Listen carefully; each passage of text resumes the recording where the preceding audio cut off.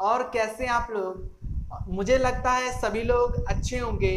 तो हम लोग बात करते हैं अपने क्लास टेंथ का हम लोग एक्सरसाइज 1.1 पढ़ रहे थे। उसमें तीन क्वेश्चन में पिछली क्लास में बताया था। आज ये चौथा क्वेश्चन है। तो चौथा क्वेश्चन को हल करने के लिए सबसे पहले हम लोग का क्वेश्चन क्या लिखा हुआ है? यूक्लिड विभाजन प्रमेयिका का प्रयोग करके दर्शाइए किसी भी धनात्मक पूर्णांक का वर्ग पूर्णांक m के लिए 3m या 3m प्लस वन के रूप का होता है।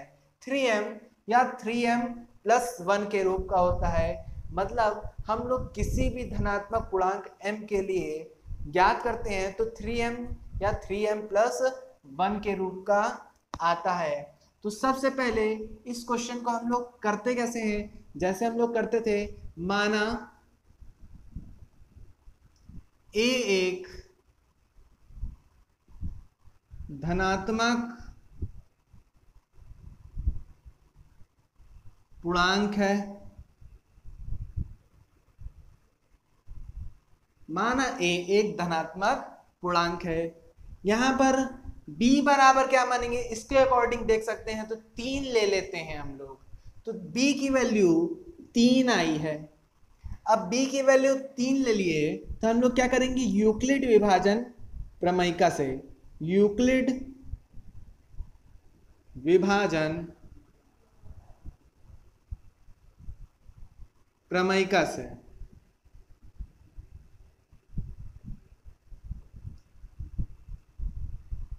अब भैया यूक्लिड विभाजन प्रमयिका क्या होती है? ए बराबर बी क्यू प्लस आर। जहाँ आर बराबर क्या होता है हमारा? या तो ज़ीरो के बराबर होता है, या तो ज़ीरो से बड़ा होता है, लेकिन बी हमेशा बड़ा होता है। अब यहाँ पर बी की वैल्यू हमने तीन मानी तो ए बराबर थ्री क्यू प्लस आर जब हमको पता चल गया b का मान तीन है तो कहता है b बड़ा है तो b से छोटी संख्या हमारी r की वैल्यू हो सकती है। तो r की वैल्यू या r के संभव मान क्या क्या हो सकते हैं? या तो ज़ीरो से होगा क्योंकि ज़ीरो से बड़ी होती है या तो ज़ीरो के बराबर होती है। तो ज़ीरो होगी, एक होगी, दो होगी। इसके अलावा कोई भी ऐसी संख्या नहीं होगी जो b बराबर तीन के लिए हो सके r की मान। ठीक है?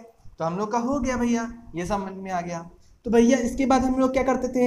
ए के संभव मान निकाल लेते क्या निकालते थे?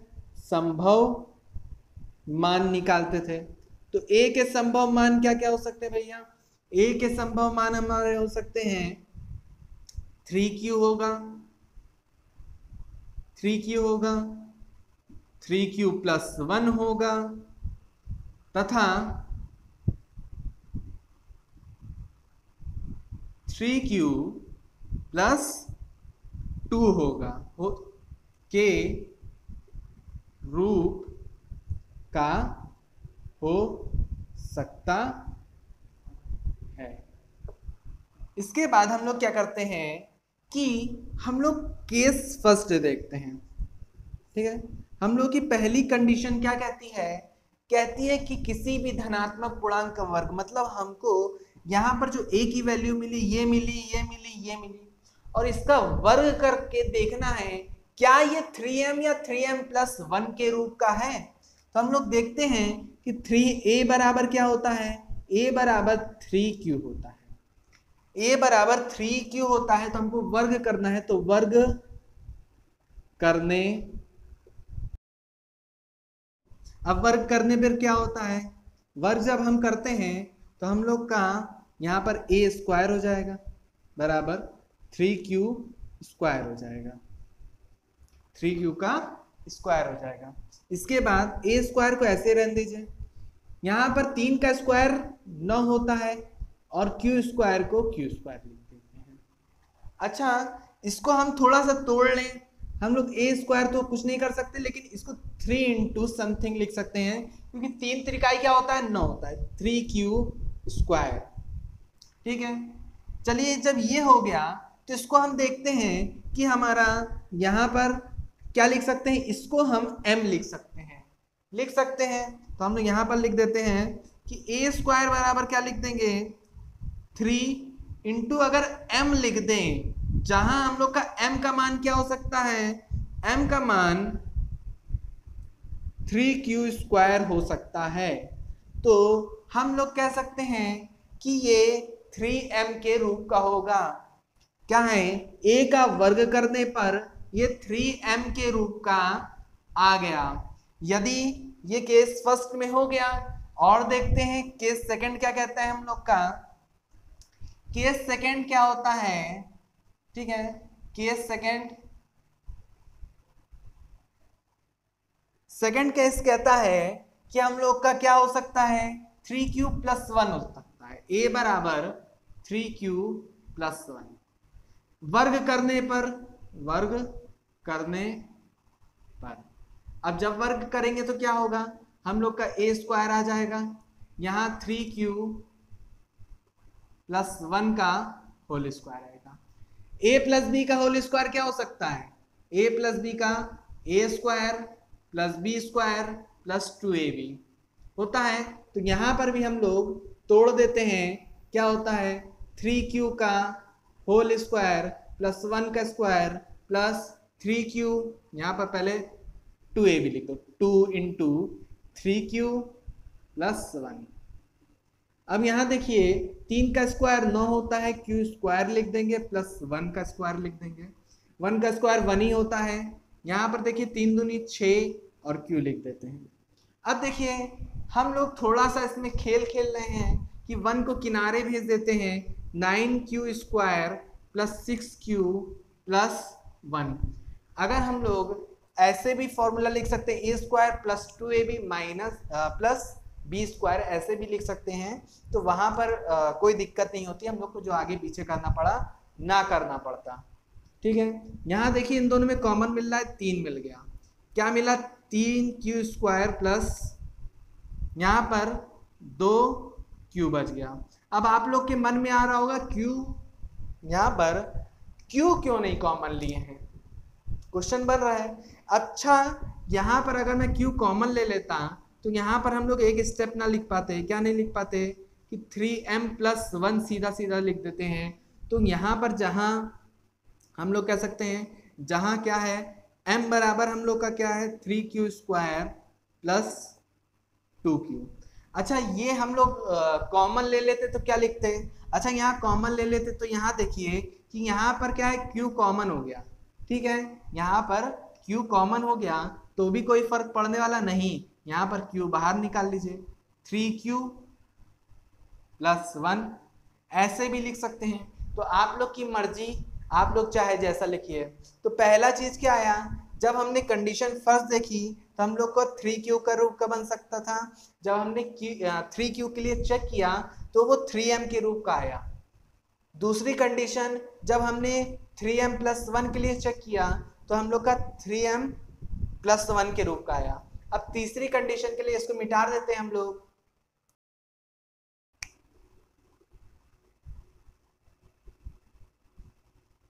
केस थ्री क्या कहता है? ए बराबर थ्री क्यू प्लस टू। इसको लिए चेक करो, वर्ग करने पर, वर्ग करने पर।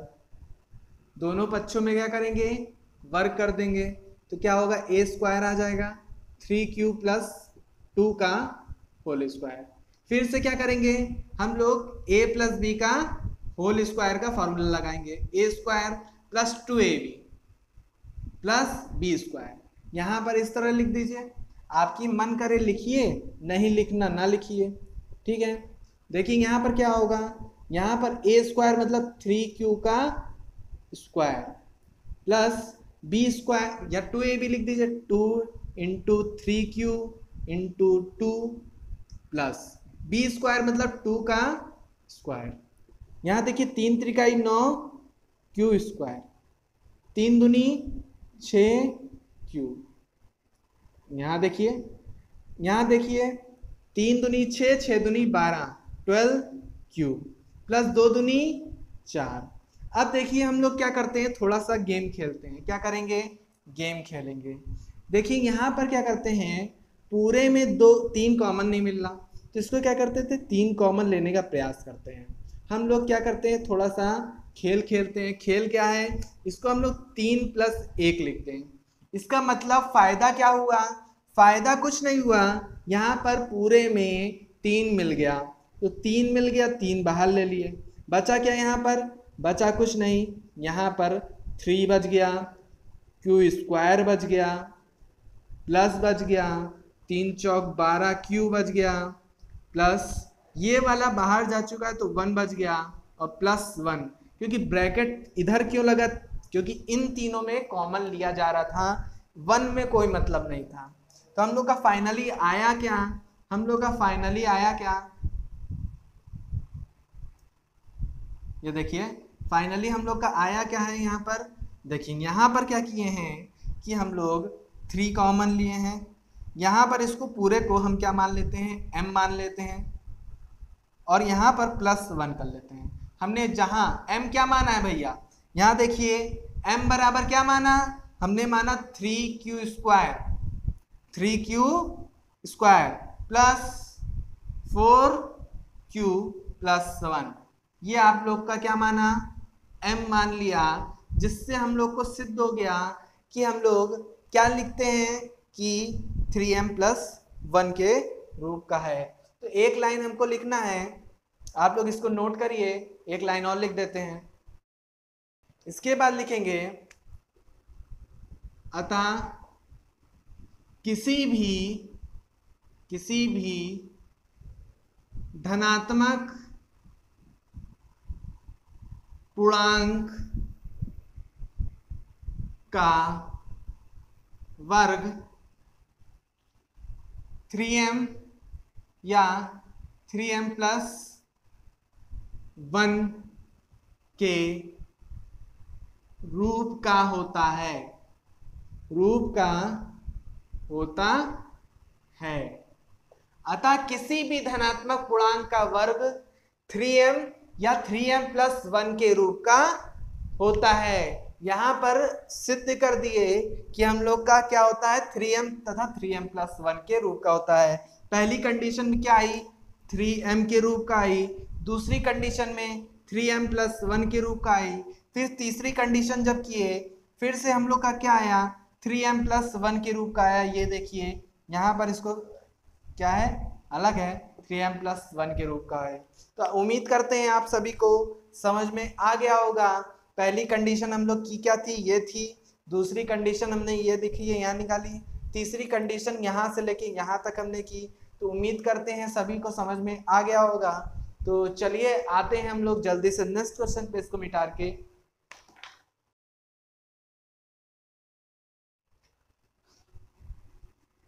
क्वेश्चन नंबर पाँच और आखिरी कहता है, दर्शाइए कि दर्शाइए कि किसी भी किसी भी धनात्मक पूर्णांक का घन, यहाँ पर घन होगा,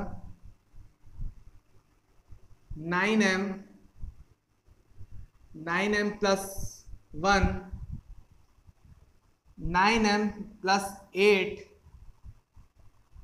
के रूप का होता है। अब क्या करना है हमको? यूक्लिड विभाजन प्रमेयिका का प्रयोग करके यूक्लिड विभाजन प्रमेयिका का प्रयोग करके, प्रमेयिका का प्रयोग करके दर्शाना है कि कोई भी धनात्मक पूर्णांक का वर्ग, कोई भी धनात्मक पूर्णांक का घन 9m 9m प्लस वन तथा 9m प्लस एट के रूप का होता है। ये हमारा क्वेश्चन है। उम्मीद करते हैं क्वेश्चन आप लोग को समझ में आ रहा होगा कि हमको कोई भी धनात्मक पूर्णांक का घन करना है, जैसे हम लोग वर्ग किए थे। उसी तरह हम लोग को घन करना है और हमको 9m और 9m प्लस वन तथा 9m प्लस एट के रूप का दिखाना है। तो थोड़ा ये क्वेश्चन बहुत अच्छे से ध्यान दीजिएगा। यहाँ पर हम लोग थोड़ा सा दिमाग लगाएँगे और वो दिमाग आप लोग के लिए बहुत ही आवश्यक होगा। जैसे आप लोग पहला लाइन जानते हैं कि पहली लाइन हम लोग लिखते हैं, माना एक धनात्मक पूर्णांक है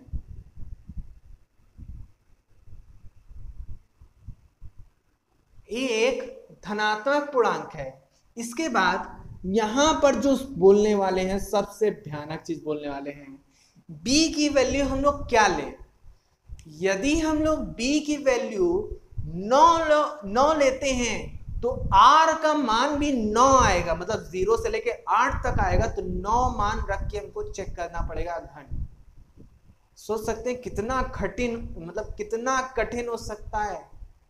आप लोग सोच सकते हैं। बिल्कुल। तो हम लोग थोड़ा सा दिमाग लगाते हैं। यदि हम लोग चाहें तो नाइन की जगह ना लेके हम लोग इसको थ्री ले सकते हैं। क्यों? क्योंकि जब हमने किसी संख्या का घन करना है तो वो क्या आएगी? जैसे नौ का करेंगे तो नौ नवा इक्यासी, गुणे दो सौ तिरालीस, ऐसे करके हम लोग को करना पड़ेगा। लेकिन अगर हम लोग क्या करते हैं? तीन लेते हैं, तीन त्रिकाई, नौ नौ तो सत्ताईस हमको नाइन एम से बड़ा आया ना नाइन से बड़ा तो हम लोग का काम चल जाएगा। तो आप लोग यहाँ जब माने बी की वैल्यू तब थोड़ा सा दिमाग लगा के अपना कैलकुलेशन करने से बचा सकते हैं। यदि आप लोग नाइन मान लेते हैं तो कोई किसी प्रकार की गलती नहीं होगी। बस थोड़ा सा ये होगा कि क्वेश्चन जो है लेंदी हो जाएगा, लंबा हो जाएगा। इससे बचने के लिए हम लोग बी की वैल्यू क्या मान लेते हैं? बी की वैल्यू हम लोग मान लेते हैं कि हम लोग का तीन है। तो हम लोग क्या करते हैं? यूक्लिड विभाजन प्रमयिका से। यूक्लिड विभाजन प्रमयिका से। अब प्रमयिका क्या होती है? आप लोग को पता है ना? प्रमयिका से। होती है भैया a बराबर बी क्यू प्लस आर होती है। जहाँ r क्या होता है? ठीक है? होता है आर बराबर, हमारा आर क्या होता है? ज़ीरो से बड़ा या बराबर, लेकिन बी हमेशा बड़ा। तो हमारा ए बराबर क्या होता है? यहाँ पर थ्री क्यू प्लस आर कर लेंगे। अब हमको जब जैसे ही पता चला कि हमारा बी की वैल्यू थ्री है तो हम लोग कह सकते हैं कि आर बराबर हमारा ज़ीरो हो सकता है, एक हो सकता है, दो हो सकता है। ये आर के संभव मान हो सकते हैं। जब आर के संभव मान हो सकते हैं तो हमारा ए के भी संभव मान हो सकते हैं, ए के संभव मान भी हो सकते हैं। तो ए के संभव मान हम लोग के क्या क्या हो सकते हैं भैया? यहाँ पर देखेंगे, जब हम लोग का ज़ीरो रखेंगे, थ्री क्यू, जब हम लोग क्या रखेंगे? वन रखेंगे तो वन हो जाएगा। तथा थ्री क्यू प्लस टू के रूट का हो सकता है। अब इस रूप का हो सकता है। तो भैया, केस फ़र्स्ट हमारा क्या कहता है? केस फ़र्स्ट हम लोग का कहता है कि हम लोग इसका घन कर दें, पहली वाली संख्या का। हम लोग क्या किए? A बराबर क्या था? थ्री क्यूब था। इसका क्या था? घन करने पर। क्या करने पर? घन करने पर। घन घन मतलब क्यूब करने पर। अब क्यूब करें तो ए क्यूब आ गया। इधर थ्री क्यूब का होल क्यूब आ गया। यहाँ पर देखिए, इसके बाद इसका तीन का क्यूब करेंगे? तो तीन त्रिक का ही नौ नौ त्रिक सत्ताईस होता है। तो हम लोग यहाँ पर सत्ताईस क्यू स्क्वायर लिख सकते हैं। तो हम लोग क्या लिख देंगे? इसको हम लोग नाइन इंटू थ्री लिख सकते हैं, क्योंकि नौ त्रिक सत्ताईस होता है। और यहाँ पर क्यू स्क्वायर लिख दें तो हम लोग का फ़ायदा क्या हुआ? नाइन एम लिख सकते हैं, क्योंकि पिछला क्वेश्चन हमने कराया है। तो हम लोग का जहाँ एम की वैल्यू क्या हो जाएगी? जहाँ m बराबर हम लोग का हो जाएगा थ्री क्यू स्क्वायर हमारा काम बनना चाहिए। देखिए, m की वैल्यू क्या है, उससे मतलब नहीं है। ठीक है? m की वैल्यू क्या आए उससे हमको मतलब नहीं है। बस हमको ये याद होना चाहिए कि नाइन और m आए। हमको कॉन्सेंट्रेशन होना चाहिए, पूरा दिमाग का एक एक चीज़ यही होना चाहिए कि हम नाइन एम कैसे लाएँ। या नाइन एम लाएँ, या नाइन एम प्लस वन लाएँ, या nine m plus eight line. तो केस फ़र्स्ट हम लोग का हो गया। हम लोग केस सेकंड देखते हैं। तो केस सेकंड क्या कहता है हम लोग का? केस सेकंड हम लोग का कहता है कि हम लोग नाइन एम प्लस वन के लिए चेक कर लें। ठीक है? Sorry, three q plus one के लिए चेक कर लें। तो ए बराबर three three q plus one. तो हम लोग क्या करेंगे? घन करने पर। क्या करने पर? घन करने पर। जब हमने घन किया तो हमने क्या देखा कि हम लोग क्या लिख सकते हैं? ए क्यूब लिख सकते हैं। यहाँ पर थ्री क्यूब प्लस वन का होल क्यूब लिख सकते हैं। अब बचपन में हमने पढ़ा था ए प्लस बी का होल क्यूब क्या? ए प्लस बी का होल क्यूब क्या पढ़ा था? A cube plus three a b bracket में ए प्लस बी और प्लस बी क्यूब ये पढ़ा था, बिल्कुल पढ़ा था। अब इसका प्रयोग फिर से करते हैं हम लोग। हम लोग कहते हैं कि यहाँ पर क्या हो जाएगा? हम लोग का हो जाएगा इसका क्यूब थ्री क्यू का क्यूब प्लस यहाँ पर देखिए three into three cube into one ठीक है? फिर ब्रैकेट में थ्री क्यू प्लस वन इसके बाद हम लोग क्या लिखेंगे? प्लस वन का क्यूब ठीक है? चलिए। इसके बाद क्या होता है कि हम लोग यहाँ पर थोड़ा सा चेंज करते हैं। हम लोग क्या कर देते हैं? यहाँ पर तीन का क्यूब लिखते हैं, सत्ताईस क्यूब क्यूब ठीक है? चलिए। इसके बाद तीन त्रिकाई नौ हो गया तो दो काम कर रहे हैं। तीन त्रिकाई नौ प्लस इसमें गुणा कर रहे हैं। तो यहाँ पर तीन त्रिकाई नौ नौतिक सत्ताईस सत्ताईस क्यू स्क्वायर क्योंकि q into q q square plus यहाँ पर देखिए, यहाँ पर एक में गुणा करेंगे तो यहाँ पर नाइन क्यू स्क्वायर ही आएगा। ठीक है? सॉरी स्क्वायर नहीं आएगा। नाइन क्यू आएगा प्लस वन लिख देंगे। सभी को दिख रहा है? उम्मीद है सभी को दिख रहा होगा। तो चलिए आगे हम लोग करते हैं। ऊपर थोड़ा सा कर लेते हैं। ठीक है? यहाँ से हम लोग ऊपर करेंगे, ध्यान से देखिएगा। यहाँ पर तीनों में कुछ ना कुछ कॉमन मिल रहा है। हम लोग को लेना क्या हम लोग नाइन कॉमन ले लेते हैं। नाइन कॉमन ले लेते हैं। बचा क्या? यहाँ पर नौ त्रिक सत्ताईस थ्री क्यू आ जाता है। क्यूब आ जाता है।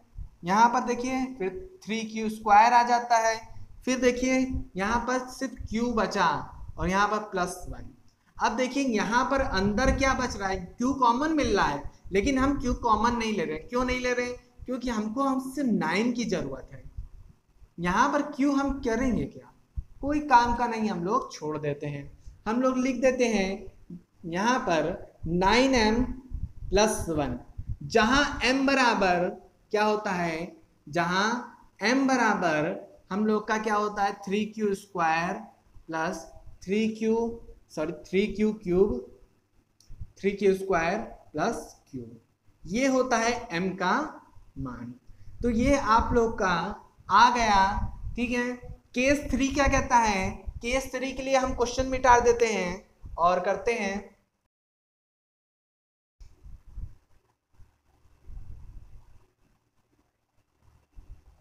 केस थ्री है ए बराबर थ्री क्यू प्लस टू फिर से देखिए यहाँ पर घन करने पर, घन करने पर। हम लोग क्या करते हैं? घन करने पर।